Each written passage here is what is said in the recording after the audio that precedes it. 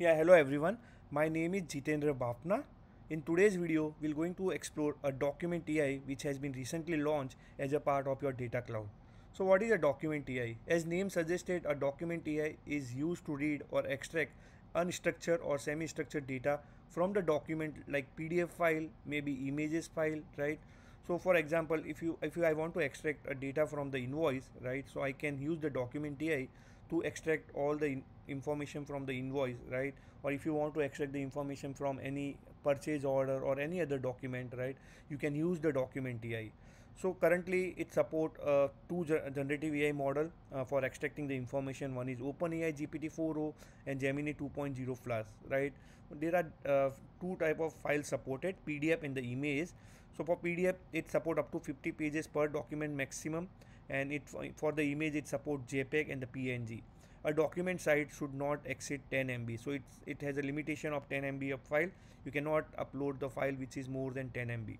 It also exposes certain API that you can use to uh, to extract the information from the document to generate the schema, right? Or like uh, or to update the document configuration, right? So there are many things. If you want to delete uh, document AI configuration, like so there are some some list of API it has been provided as a part of your document AI. But we will going to use a graphical user interface for extracting the information from the document, right? So what we will going to do, so we will going to log in into data cloud and in data cloud we have something called unstructured data. So we will use that unstructured data and we will upload the document and we will going to gen uh, no for we will going to generate the schema for that particular document correct? And then then like you know then we're going to extract the information from that document. Let me show the document first right? So let me minimize this and let me show the document first. So this is my invoice. So where if you see in my invoice i have a table.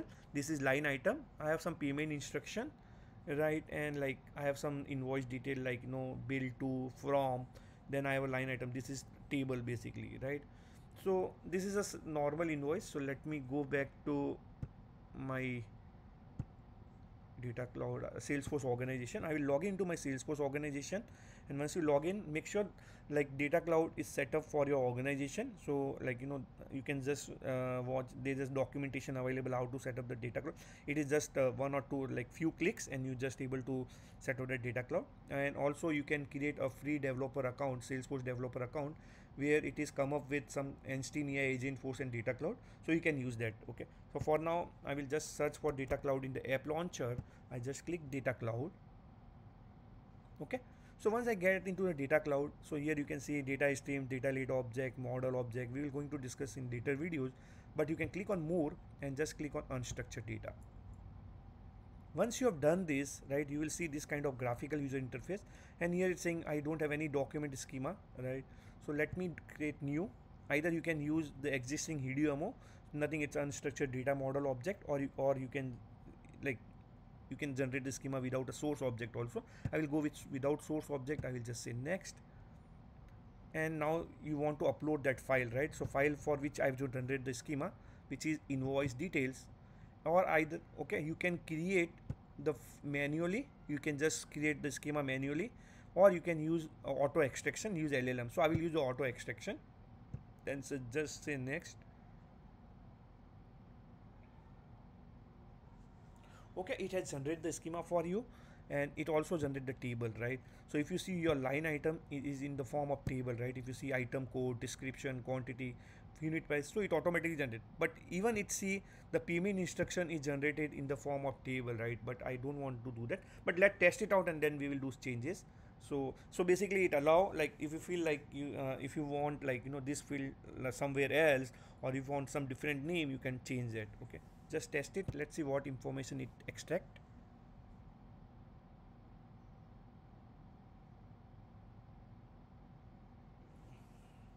Okay so let's wait uh, till it extracting the information. Taking some time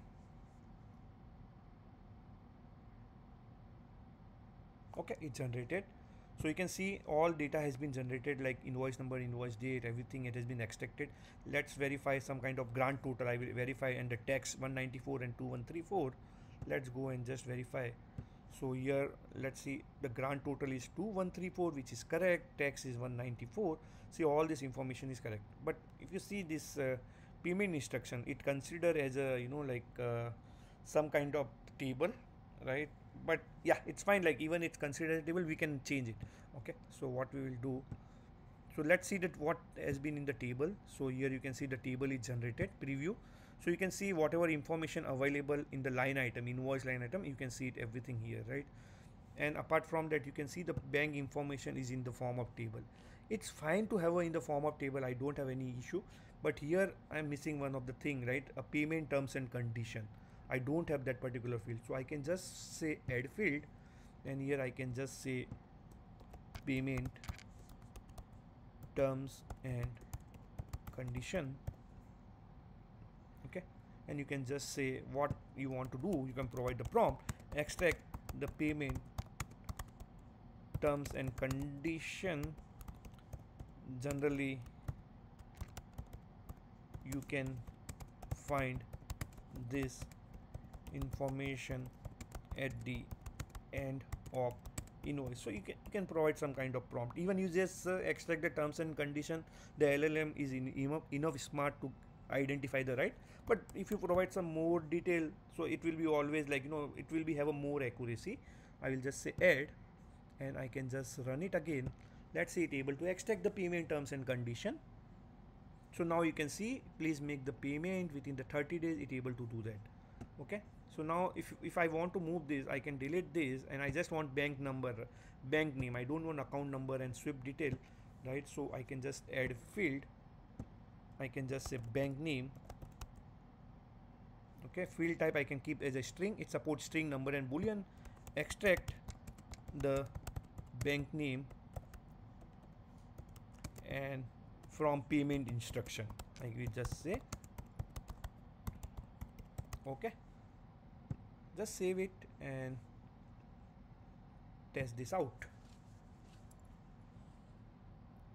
It should yeah. Now it able to extract the proper you know uh, bank name and everything. No i feel like i'm good like everything is good you know so whatever i want all details are there. If you want to add the columns like you know you might be have a possibility some of the invoice line item have more columns right? So you can add more columns also. So like you know so you can do that. Just i will save this. It will ask me for the name I will just invoice document AI okay this is I will name I will just save it. So here you can see your invoice document AI has been generated. Here you can see the outputs and everything. Let's go back to document AI you can see it here. I will use one more. I will take the purchase order one without source object. Just say next let me show the purchase order to you. Okay. So mock purchase order. So here like you have this kind of purchase order purchase order details vendors ship to. Then again we have a table and then we have some terms and conditions right? So let's see. Okay. So i will upload that document. First thing you have to upload the document. Okay. I will just say done. Use llm i will just say next so here you can see all terms and conditions. Everything is there prompt instruction everything. So it generate PO number PO date delivery date vendors ship to subtotal. Let's say table. It also generate the table with a few columns item code description quantity and the total. Just test this out okay if everything is good okay it extracted it quickly so here you can see you know so for terms and condition like it it have a mul multiple terms and condition right? Tivoli merged it merge everything right into a single field all the terms and condition. Then it, you can see all the information about the PO right? Then we can see PO line items detail. So I can just say preview. So here you can see the table which has been extracted from the purchase order right? So for now I this looks good to me. If you want to change the model also I use Gemini Flash right and test it. Let's see what it does. So it let's see if it's able to generate. Yeah it, this is also able to generate the information right? So it also have a tables then just say preview. So same same detail right?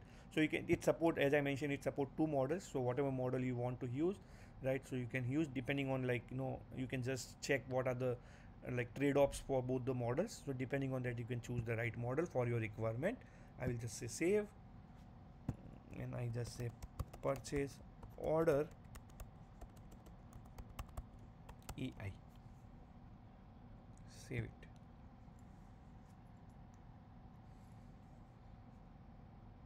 okay so now you can see we have generated two things right? Both are in the activated state. If you want to delete it you can do it delete from here right? And this is the data space which has been where the document has been just uh, saved right?